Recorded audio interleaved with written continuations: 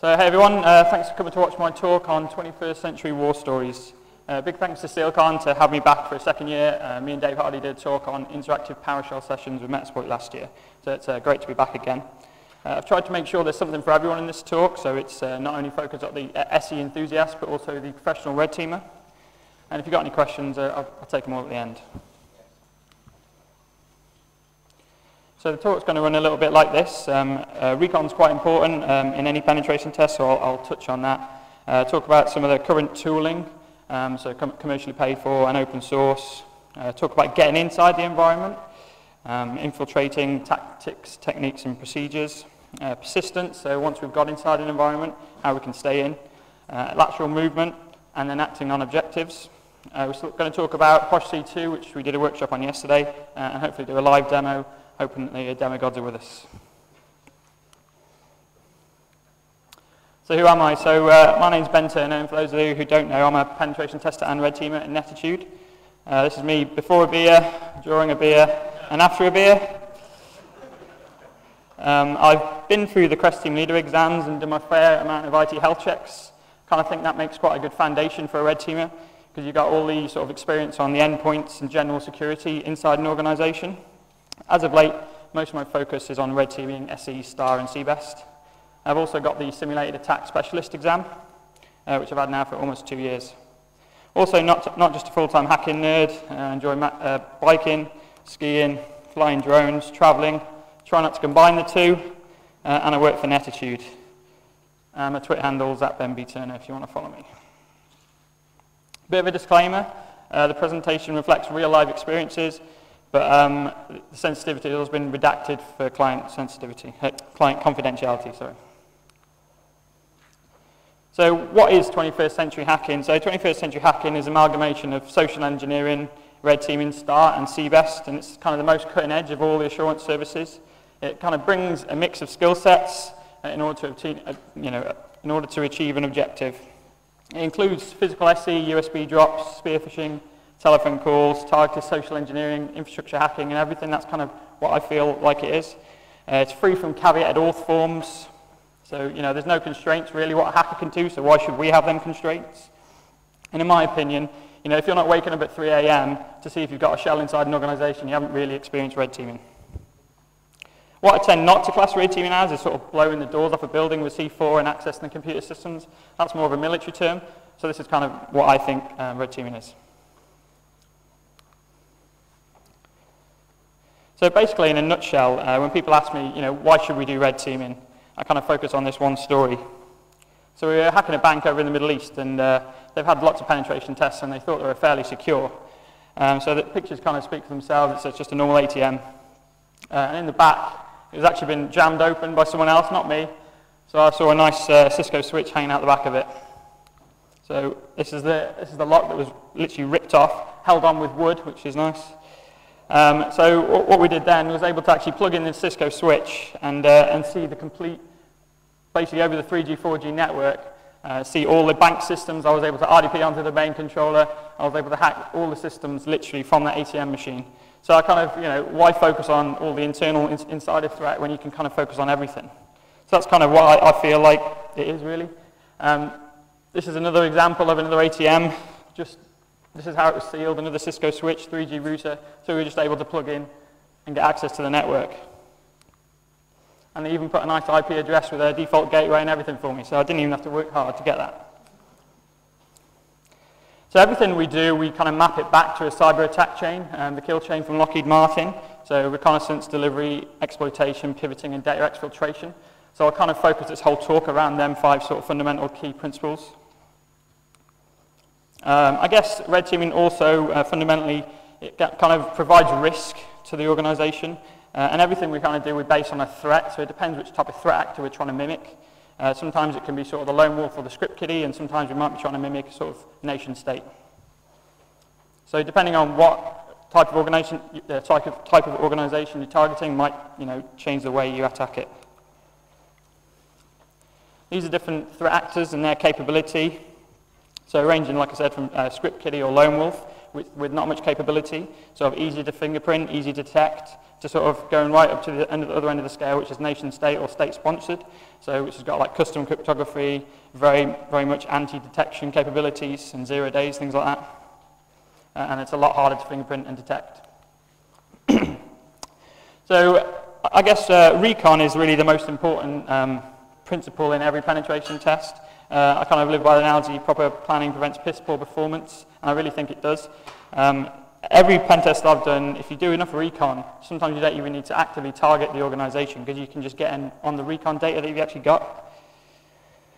Uh, most importantly, the more you can find out about the environment, the better you can attack it, the better you can sort of weaponize your payloads, your comms, things like that. So, you know, it's a great way to go. The tools I simply uh, tend to use is Maltego, DNS reconnaissance, Whois records, media, social networking, GitHub, um, obviously, so you can read it for yourselves.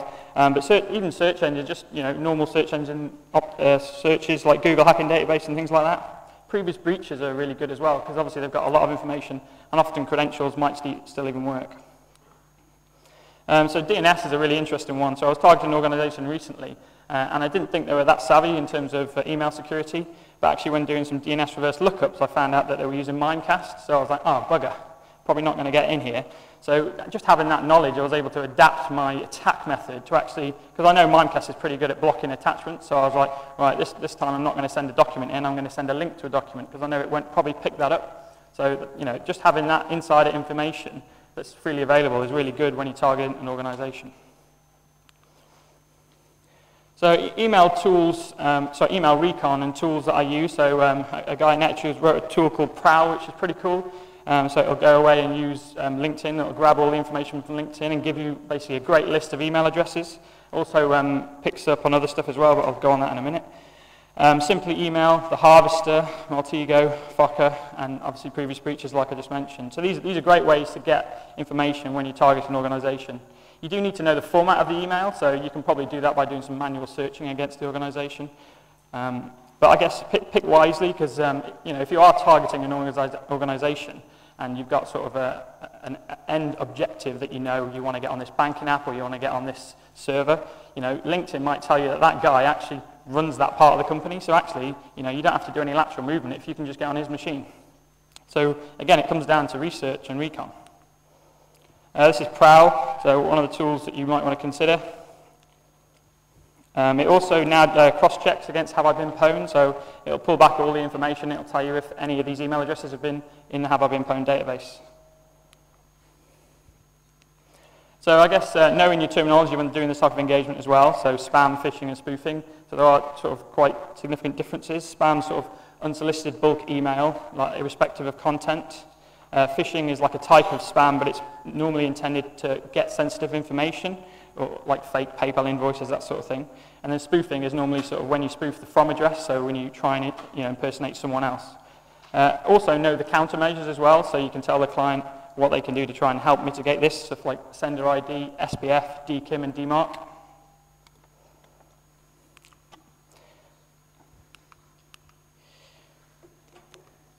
Had quite a lot of success recently, actually, um, from doing an engagement where when I was targeting them, I, I did some recon on their email gateway system.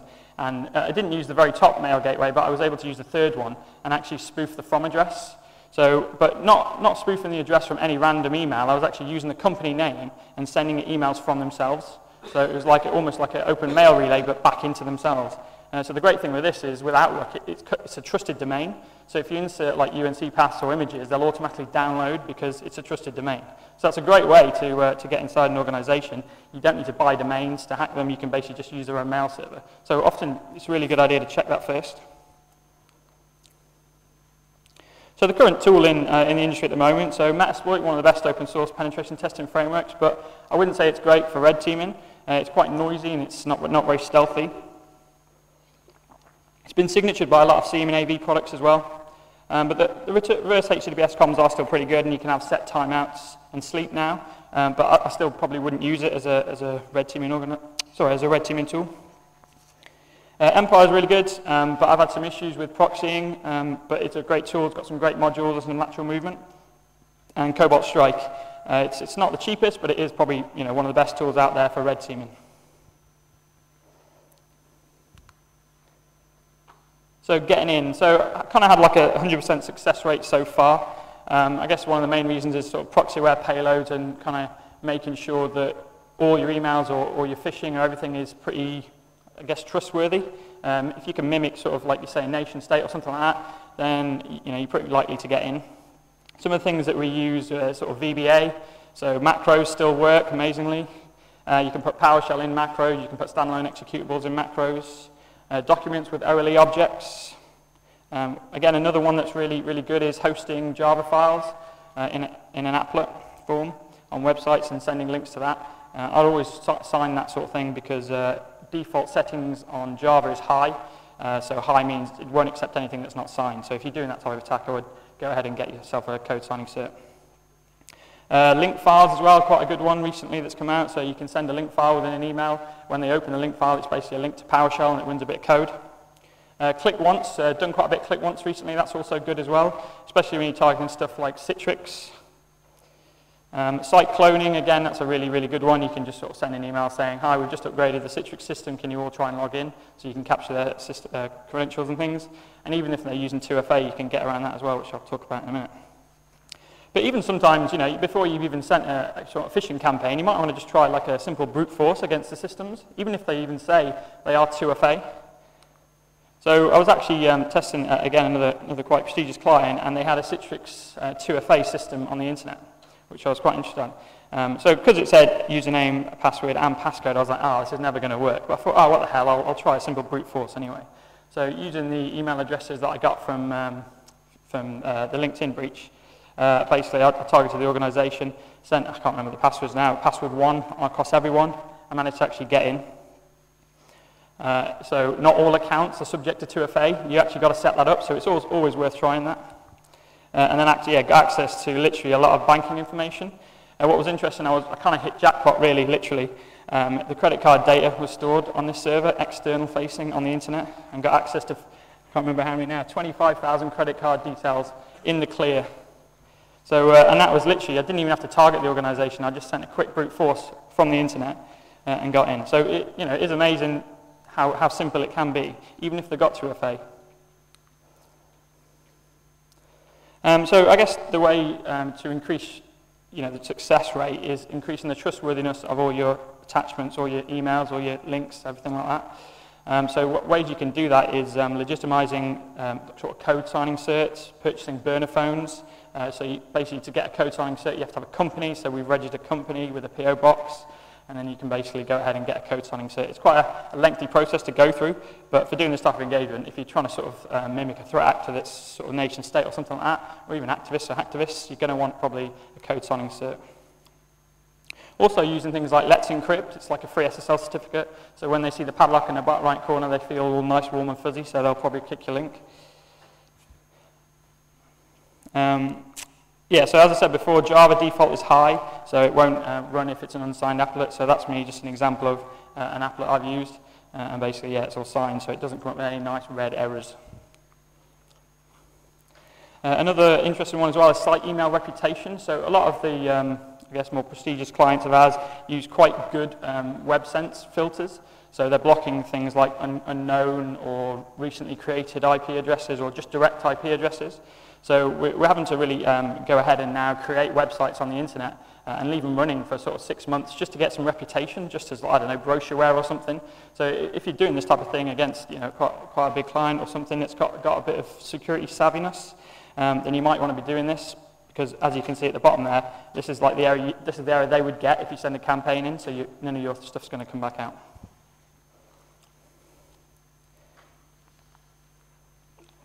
A good way of doing it is um, submitting your site to Google, and there's a WebSense um, URL uh, page you can actually submit to as well, um, so they get reputation then, and then you, you, won't have any issues. Also, don't use dynamic DNS. We've seen that blocked a lot as well. Uh, so on, on, some of the early days, we started to use that, and, and again, I, I tried to uh, not use that if I was you. So another way we often get in is targeting sort of site cloning or, or credential harvesting. So an interesting one is um, Citrix again. So when, when you think it's got 2FA, um, if you just send in basically uh, saying, yeah, we've just upgraded Citrix, blah, blah, blah, and you clone their page, uh, you'll actually, you can have some nice cool JavaScript embedded in the website so that it actually offloads the credentials to a third-party site. So literally in real time, I was getting these credentials out and was able to actually log into the site you know, properly. And if you redirect, if you do it right and you redirect the actual cloned site back to the original site and just like get it with a sort of failed login page or something, they log in a second time and get in. And at that time, they don't think anything of it. They think, oh, great, my credentials still work. But actually, you've got a foothold inside the organization. And having a foothold in Citrix is kind of the, the best one because you can always break out Citrix to PowerShell. Literally, I don't think I've ever been on a test where you can't break out Citrix to a command prompt. So when, when, I'm sending in some sort of phishing campaigns, clients really like analytical data. They love graphs. Um, so the way I kind of do that is have a three-stage approach. So inside the email that I will send, I'll put um, a webhook, basically uh, with, which will have a random integer. So I'll, I can target and say how many unique random integers have I got back. And then also, if I'm sending in a payload, I can put in a webbug inside the payload. And then if I've got obviously a document with a macro or an OLE object, if that gets executed, I know if I've compromised the machine. So you can have a nice graph at the end which basically says, look, here's all the emails sent, here's how many people open the emails, here's how many documents opened, and here's how many hosts were compromised. Just quite a nice graph when you're doing this type of engagement. So they, you know, they can use this and then go, right, we need to now perform security um, security awareness training off the back of your engagement. And as you can see there, in my logs, I'll just see like one.png and then the ID. But also it's good as well because you know who's opened your email. Um, so you can say specifically that user. Not that we you know, condone sort of telling people who, who the unlucky people are that clicked our links, but it's good to have that data anyway. So UNC Pass, hopefully you went to Neil's talk, but he talked more on this. Um, but basically, it's a, it's a, really good way of getting inside an organization. Again, a lot of the clients that are, I guess, more developed and have got sort of good firewalls and things probably won't allow this. Um, but if you have a UNC path inside of an email, um, you can actually capture the hash, the NTLM hash, providing they allow port 445 outbound. So we've done this on loads of engagements, and you can just basically get a hash. So it's, you get the SMB NTLM challenge hash. So again, you can crack that and use that on single-factor systems on the internet. So it's a really good way of sending, it, you know, sending in um, an email with a malicious sort of attachment or something. Um, the interesting one with this is, like, even if you're targeting like maybe a bank or something which you know this isn't going to be allowed, uh, if people are working from home, basically, and they don't always have a no-split VPN, then basically they'll be using BT home hubs, crappy firewalls, anything like that, 445 straight outbound. So, you know, it's worth thinking even against the more sort of security-aware clients to put this type of attack in. So you can basically there's a Metasploit module do I do always do it manually, but the Metasploit module provide it a document and it'll basically weaponize it with a UNC path. Once you've uh, that, cracked the hashes, you can log into OWA. Literally, the amount of times I've typed password in OWA and you get like lots of information back, or Wi-Fi. People are often sending the Wi-Fi code out over bloody um, Outlook, and so you can just basically go outside the organization, hook up to the Wi-Fi, and you get access to the network. So these are the ways you can kind of red team the organization again, without even really sending anything in. Again, another one, link, we often try and log into. Oh, also, you can, um, if, if, you actually manage to get into Outlook uh, as some user, you can kind of reply to all. So if they've got a company-wide email address, you reply to all, add a UNC in there, and you'll get about, well, however big the company is, you get a thousand, thousand UNC paths coming out at you with a thousand hashes. So that's another good way of doing it. Um, so often we send macros in. Uh, macros are usually by default uh, disabled, but they do have a notification.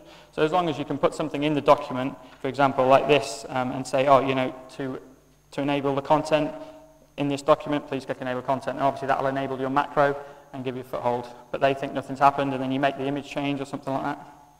So again, one I always do is uh, a CV. So I've got a nice little CV here. Uh, that's not me, obviously. Um, but it looks encrypted, so I've put a little image at the top of it, say, oh, this is uh, fake encoding. Please click enable content to show the image. And then the image appears, and they're like, oh, yeah, warm and fuzzy. Yeah, it all works. Uh, as I said before, click once is really good, especially if you're targeting something like Citrix. Uh, I've talked a lot about Citrix like that. Um, but when you basically first go to Citrix, it asks you to install something. So that's why click once works really well because as soon as you get onto this page, if you clone a website or something and send an, an email in, once they click click install, it'll actually pop up the pop up the box and go, oh, host checker, yeah, oh, I'll run that because I need to do that because it always does that anyway. So it's you know just legitimizing your attacks to make them uh, make them feel warm and fuzzy. Um, always anonymize your traffic. So depending on what threat actor you're trying to mimic, in these engagements, um, you, you, don't want them to like look up the address that the C2 traffic is going on and say Netitude. They're like, oh, right, oh, it's a pen test. Right, we don't want that. Um, so always anonymize it. So the ways you, do, you can do this is by VPSs all around the world. So you can even put them in China and Russia and all places like that. Um, so you can use either simple IP tables rules, which just forwards 80 and 443 back to your server, just completely anonymizes the traffic. Or you can create like some funky scripts, which we got some Python scripts, which basically says, if it's legitimate web traffic, someone just wants to see if this is a dodgy site, it goes and puts them off to the website that you created. Or if it's C2 traffic, put it back to my C2 server. So putting all this together, uh, one day in the red teaming world, uh, I sent uh, my CV into the recruitment company. Um, I got my 1.png back, which so I usually open email. Uh, got the attachment back, and I got the macro executed. So I did actually have UNC in this one, which was interesting. Um, so the UNC was blocked uh, by default, which I kind of thought it would be. But what was really interesting is, uh, never fear, because Enterprise Vault is here. Enterprise Vault, for some reason, sent me a hash, and I was like, well, where did this even come from? And it was a domain admin. So it was like zero to here in about five minutes. And I was like, what? I've actually got a fold in the organization with domain admin in five minutes. Go home, thanks very much. So uh, again, another, another really good reason to use UNC. Even if you think it is blocked, you might get some random things like I had. Uh, and it, it's really, really interesting. Oh yeah, so that's, that was basically where I was. I was able to access all the data center and everything from where I was from that initial foothold with the ACREDs. So I was able to get screenshots, access the payroll, and what better way to show risk than to show the CEO's pay slip on the report. She earned a lot, by the way. But, you know, a shell is only the beginning. Um, sure, it's great to get lots of shells. Yeah, it's a dick measuring contest. Yeah, I've got 320 shells. Woo! But to be honest, it's, it's only the initial foothold inside the organization. So it's the lateral movement and accessing the crown jewels, which is where the real sort of red teaming comes in. But before that happens, I guess we need to be you know, aware where we are. Don't forget, when you're doing this type of engagement, you're going in blind, so you don't know what the organization looks like, you don't know what the network layout is, you don't even know if you've actually compromised the right machine. You might be on Bob's home machine, but, you know, so you need to just ensure that you're you know, doing the right thing here. So make sure your implant's landed on the correct system, be aware of your surroundings. Um, is it on a desktop? Is it on a VDI? Is it on a laptop? Is the system joined to a domain? What's the system uptime? What's the date? What's the language even? Uh, so I was on a job once and uh, I landed on an, in Algeria randomly. And I was trying to add my user to the local admin group. And it was like, no, it's not working, not working. And I was pulling my hair out for about 30 minutes and it's administrateurs or something in French. So just knowing that little sort of difference makes, goes a long way, really. So uh, persistence via Michael. So here's another little story. So again, we applied for a job uh, at the top of the CV, we had our burner phone number, and a guy came named Michael calls the phone. So there's three of us in the room at the time, and we were all a bit nervous, going, "Oh, the phone's ringing." Not really sure what was going on here. So he was like, "No, you answer it. You answer it. You." Answer. So anyway, I answered it. So he said, "Oh, hi there. We've got your CV, and uh, yeah, yeah, great, yeah." Says, uh, "But there seems to be a problem with it. There's there's a picture, but it, I think it's like all encrypted." I was like, "Oh yeah, yeah. Sorry, yeah. There's a problem with it. Is there an enable enable content button?" Yeah, yeah. Click it. I, I got a shout, so I was pretty happy. And I was like, did the image show? He's like, yeah. I was like, oh, great, yeah, thank you, thank you very much, thank you. So anyway, I got a nice little shell. Um, so the reason why I'm saying this is we got an implant in the organization. So the next thing we did was try to install persistence. So un unfortunately for us, it failed. So we installed it, it was on a VDI, um, uh, and we did it in the registry, but we put the bat file on the C in the C drive. So that when the guy then logged back in the next day, he got a random VDI, so we thought, right, okay, maybe I'll try sending him the document again. So we sent Mike, Michael the CV and said, oh, you know, I've made a few updates. Would you mind just opening it and PDFing it and sending it back? And we thought, mm, he might not. Anyway, Shell comes back in. Yes, got another foothold inside the organization. Um, anyway, second time we thought, right, we need to nail this this time. We need the persistence. Um, so we were like, yeah, right, we put it here, we put it in the registry, blah, blah, blah. Anyway, for another reason, it failed. And we thought, no, we, we can't send a third email, surely not. But yeah, he clicked the email and we got in persistence again. So I guess the important thing to take away is, you know, you might not always be lucky and get a guy like Michael uh, inside the organization. So just make sure when you're running the persistence, put it in the right place uh, and check if you're on a VDI or something like that. So when doing this type engagement, there's four ways that I think you can reliably get persistence. So if you're in user land, then the best way for me is registry run keys. So whenever they log out and log back in, something, whatever's in that registry run key will run. So if you point that to a bat file or even PowerShell directly in there, it'll run. If you've actually managed to escalate to system, you can do the same thing on the HKLM, which will basically, once a machine boots in, it'll run. A scheduled task, so you can create a scheduled task to run every 24 hours or every 60 minutes or whatever you want. So that's another really good way of doing it. Sometimes in, in environments that is actually locked down, so you can't use scheduled tasks. But I found more times than not, you, you can do that approach. And also, um, if, you if you are system on a, on a box, you can actually create a service, which is one of the best and most effective methods. Um, Harmjoy has also done some good stuff on WI events. So that's also a really good and stealthy way to get inside and have persistence, especially if you're you know, tackling a quite a good blue team that knows what they're doing.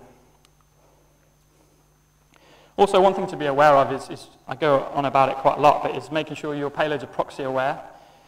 So if you've escalated to system, system isn't going to know what the proxy server is in the, inside the organization. it's not going to have credentials on the domain to even get out. So you need to make sure that you're creating payloads that you can put in the proxy. So Metasploit's got a good one, um, HTTPS proxy, and it allows you to actually go, right, this is the proxy server, this is the port, this is the username, this is, this is the password.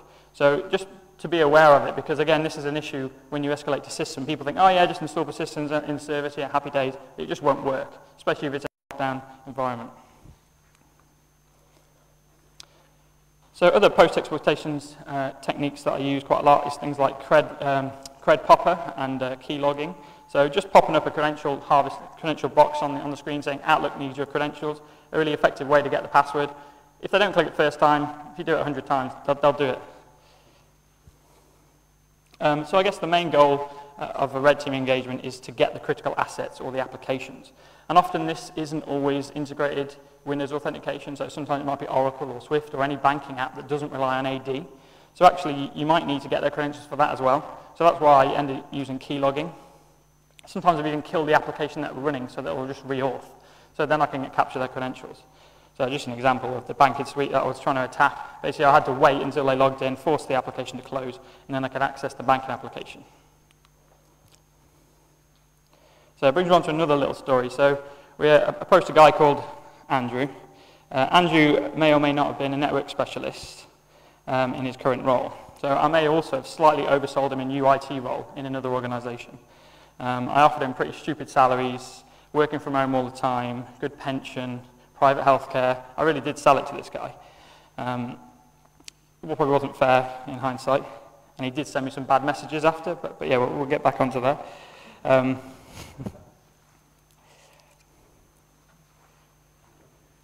Yeah, so basically on the phone, so I needed this guy to basically click something, and it was very, very um, targeted because I wanted this guy, because he was a network engineer, I wanted to make sure that he, because he had access to all the crown jewels basically, so I didn't need to laterally move, so I really wanted to work on this guy. So I called him a few times, and he was, he was very clever. He said, oh no, yeah, I'll go home and I'll do this, because obviously he didn't want to, when I was acting as a recruiter, he didn't want to do any of this in work time. And I was like, oh no, no, we've got an, an anonymized form that you can fill out. Basically, it just creates um, it creates an agreement between me and you, and that means I can act on your behalf and work with this organization. So I had a Java payload basically embedded inside the application, and he literally had to go on and put, yeah, legal full name, email, I agree that this content shall be governed by UK law. Click that box. As soon as you click that box, I got a shell, basically. Um, so yeah, he did that happily.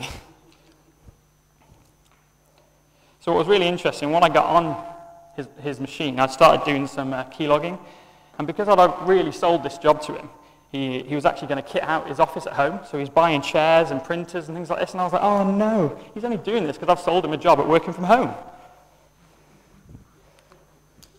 But actually, he, he did have the keys to the kingdom. He was on all the switches, all the firewalls, all the routers. And, after, and because they're doing some key logging, uh, basically I, I got everything. And that's all I needed to do. I didn't even need to laterally move. Could have been worse, though. Uh, it could have been my mate who, who targeted people on LinkedIn with that picture. Um, and probably could have broke his marriage up, so I'm glad I didn't do that. So lateral movement, um, it's a key point in the cyber kill chain, and it's, you know, it's a key point to act on your objectives, because usually they're not quite as easy as that one that I showed you back there.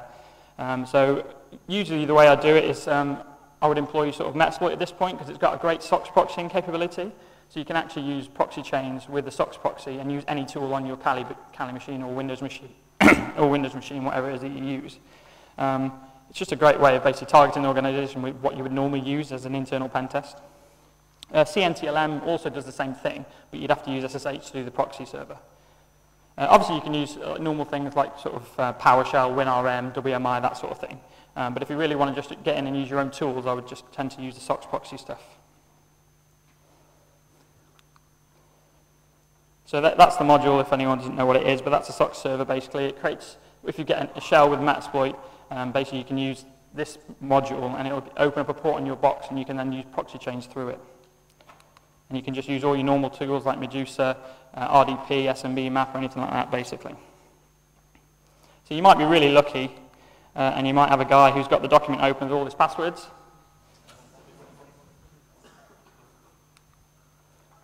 And then actually, obviously, I, I, again, coming back to Citrix, but I do love Citrix.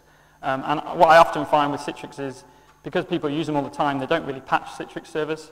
So again, once you break out, go onto PowerShell, yeah, elevated shell, run MS1632 and get system.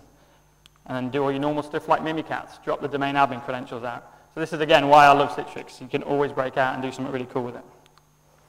And then RDP on the domain controller. Again, this is all from home. And access all these applications, banking applications, transfer money, make payments. Again, all from home. Access all the legal documents. Again, banking applications. SQL servers. So SQL servers is quite an interesting one. If they use things like Imperva, uh, Imperva will log access to databases, basically on a network level. But what's interesting is if you RDP actually onto the SQL server and go through the manager here, none of that's logged. That's a good way of getting around when you're doing like a red team versus blue team type thing. Um, so yeah, I guess that's kind of my social engineering and sort of red teaming background. Uh, so me and Dave Hardy over there created a tool called POSH-C2 to help alleviate all this, um, all, all, this stuff. And I'm going to do, try and do a live demo. I'll do a quick introduction first. So it's, um, it's maintained free and open source. It was inspired by some of the stuff we did in Metasploit last year. Uh, and it, it, kind of allows you to learn PowerShell in a phased approach. So most people get scared when they open PowerShell and it throws red errors. So this is quite a good way of getting you to use PowerShell. It's all AES encrypted uh, with a 128-bit key. It's got an auto kill switch, so if you you know got a, really risky customer who doesn't like to do this type of engagement, you can say, well, you know, even if we do land and we, you know, for some reason don't manage to get the shells gone, in two weeks it'll be all, you know, if it hits that two-week mark, it'll just automatically kill the shells. So it's kind of just like a, a risk mitig mitigation thing. So it's not only a red teaming tool, it's um, also basically a penetration testing toolkit. Simple and really easy to install. Basically, we've written a little installer, one line, it'll do everything for you. The only thing it doesn't do is install JDK, which you need to create the Java payloads, if you want to do that. Works on PowerShell version 2 and above, so Windows 7, 8, 10, Vista, anything like that. Uh, it's based on customizable HTTP beacons, so you can set them to be however long you want, 5 seconds, 10 seconds, 2 minutes, 3 minutes, all things like that. It's also got a 10% jitter, so if you've got a sort of a blue team that's monitoring traffic like maybe every 60 seconds, it'll, it's a bit of jitter, so it sort of transfers it from like 55 to 65, etc.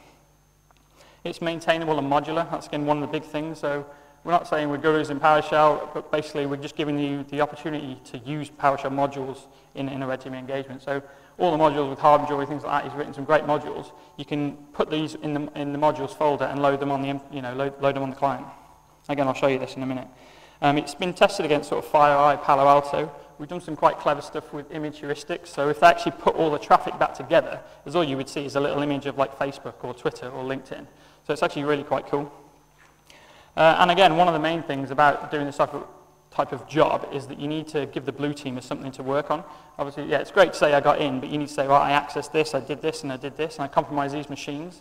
So one of the most important things for us is this output to HTML function. So it basically tells you every implant that you've got on, on, the, on, on the implant, sorry, every implant you've got uh, on each uh, workstation, and it also tells you every command you've ran and every output.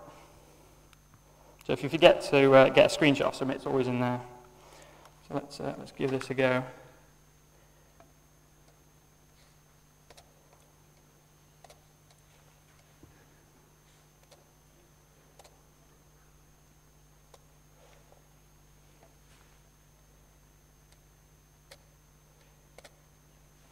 So basically when you open it up, uh, it'll say Oh, that's not looking good. Why is that? Oh, I haven't got an IP. Sorry, hold on one sec. The demigods weren't with me.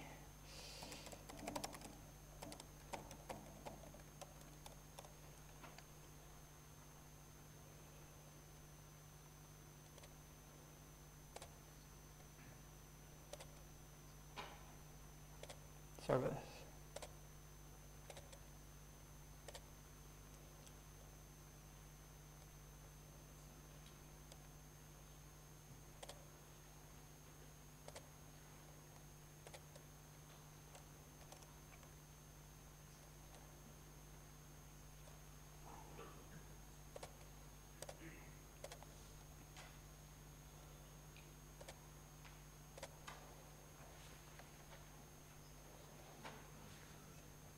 Ugh, It's going well.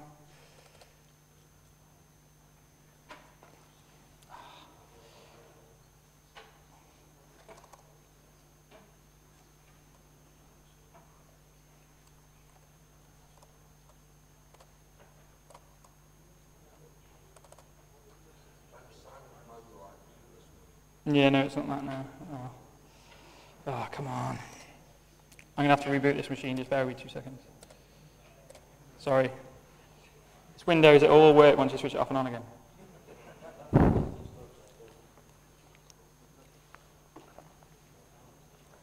Demo God, should have videoed it, knew it. I know. It was a ballsy move and it failed.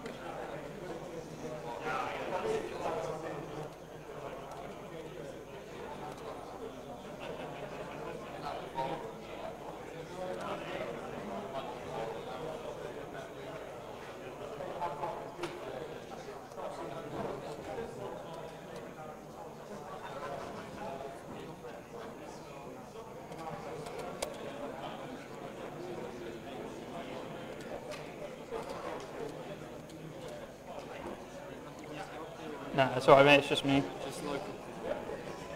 Are you VGA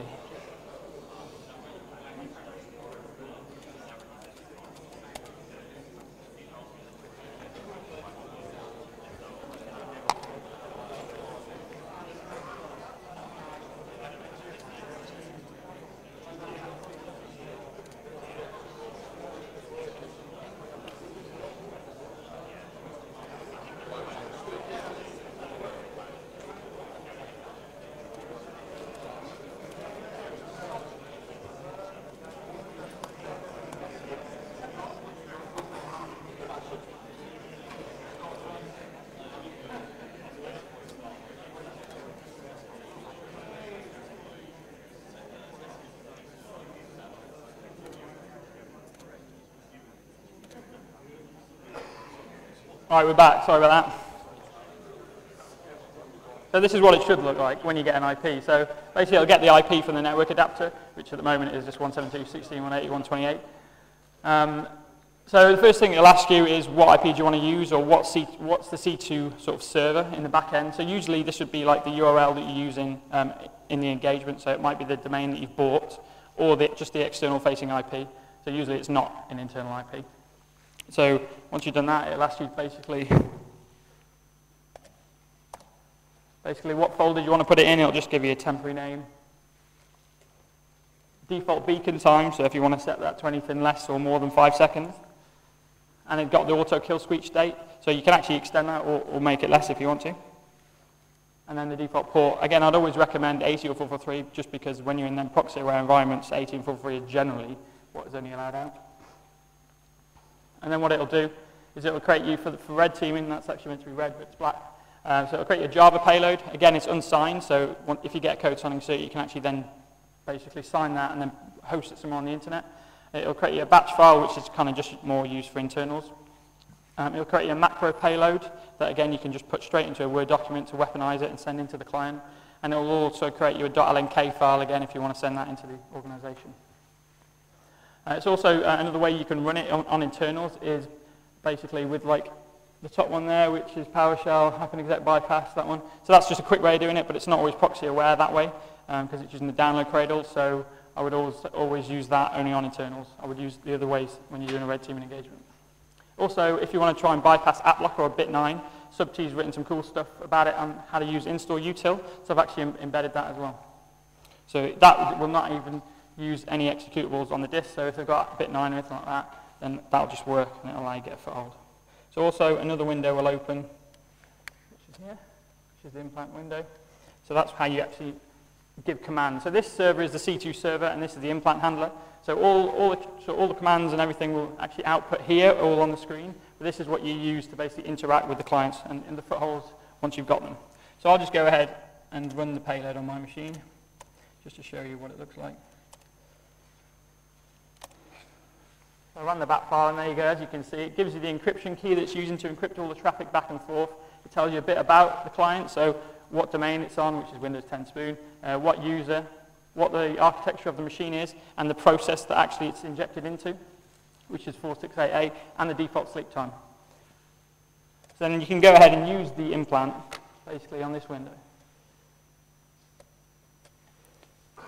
So it's basically just command line now, so you can run whatever you want. So we've written some quite cool modules in it, but you can just use it like you run normal PowerShell commands. So anything like who am I, everything will work. So when it first does it, it loads the implant core, which has got a few features and stuff, uh, and then again it'll run your command. So some of the modules we've written, and some of the modules we haven't. But again, that's the great thing about this tool, is you can put any module in there and, ju and just load the module by just doing load module, blah, blah, blah, and it will just load the module inside, inside the organization, basically on the client machine that you've compromised. So it's got some, a lot of stuff in here. Again, I won't go through it all, but basically this is just a bit of a demo, um, just to show you what it can do. All the traffic is obviously going over HTTP, but it's all encrypted. It all looks like images, which there's also a temporary image. So if you go inside the, the folder that you've created, POSH2, blah, blah, blah, there'll be something called temp heuristic image, which will just be the image that gets, um, that gets sent back and forth with the binary encrypted data. So basically, that's all they'll see.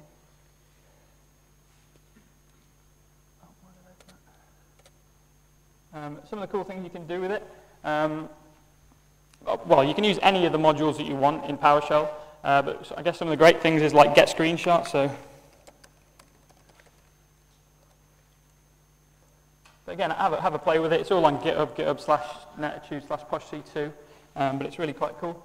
Um, but yeah, I, I won't go through it all, but that's basically essentially what it does and how it works. Uh, loads of things like CredPopper again, that's quite a cool one, which I was saying before. But everything that I do on a red team engagement, I kind of, we kind of put into this. So we've kind of done all the hard work for you because I've got a wiki which I've got all my notes for. So when running a red team and I might maybe wanted to latch remove using WMI or something. So instead of me having a wiki now, I've basically just ported all that into here. So all the commands and everything, it's all there. You can see what it's actually running. So that's the great thing. We're not trying to hide anything and we want you to actually learn when you use this tool. So just for example, like the pop-up box. Basically, that's what it's running on the client. So, you know, we're not trying to hide anything. You can see it. You can run your own PowerShell commands. Here's the CredPopper here.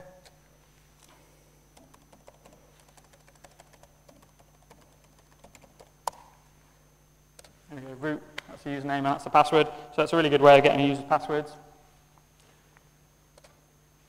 So yeah, that's just a bit of a quick demo. Uh, the output HTML is quite cool as well, which I was telling you about. Uh, again, I won't have got anything here. It's on my slides now. So I'll just return to the slides a minute.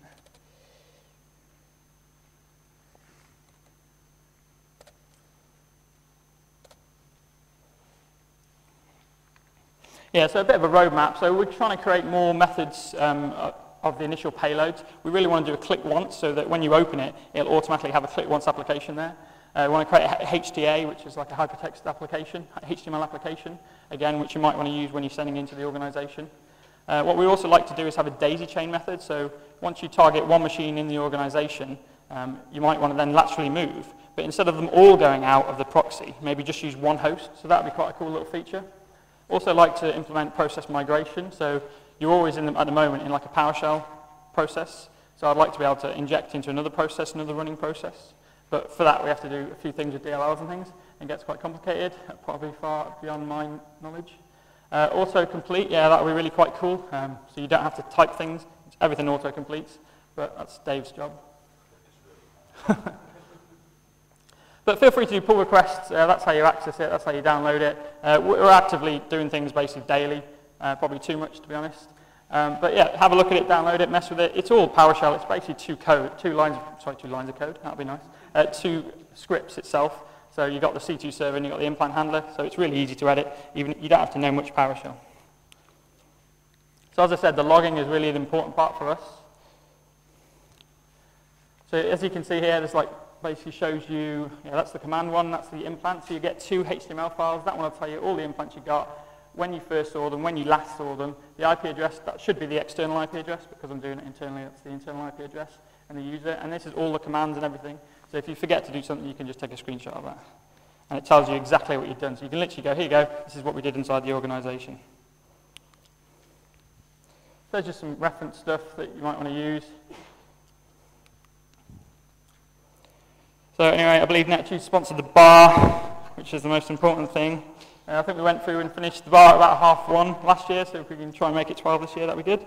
Uh, if you want to grab me for a beer after, catch up, anything, cool. Thanks. Any questions?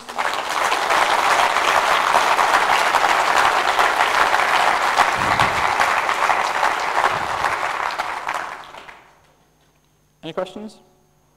Is it just beer or is Define everything. Yeah, I think so. Any more? Cool. All right, let's go get beer.